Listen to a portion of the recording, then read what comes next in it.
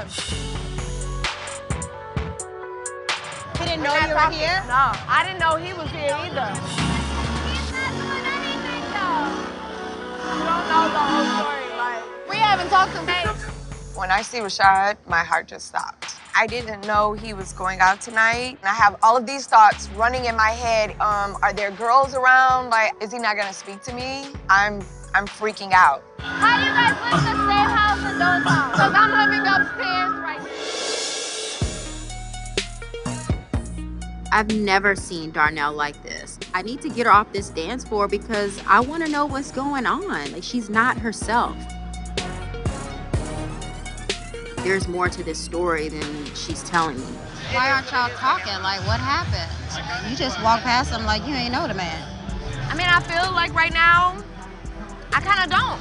We're on different journeys, and I'm okay with his journey, and he's not okay with mine. I have given this relationship, this family, this household, everything I have for over four years.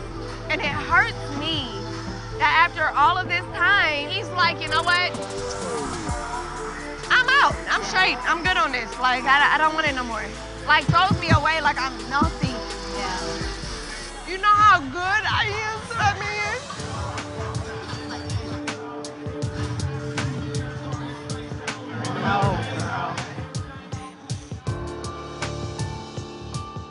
At one end, he tells my daughter that in order to be a queen, she has to be smart, strong, and independent. I want to be that too. When I go for it, it's, oh, you can do it that way. And I just feel like I can't win.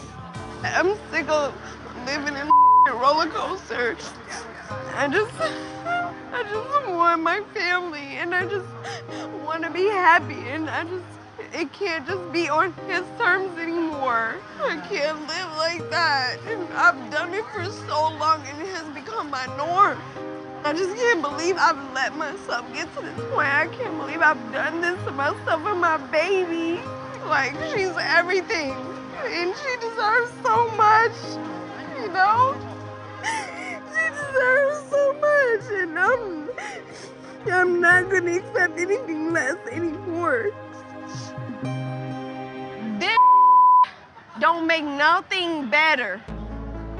I don't even know what the this is. Like, I'm not gonna give my life up for this. This don't make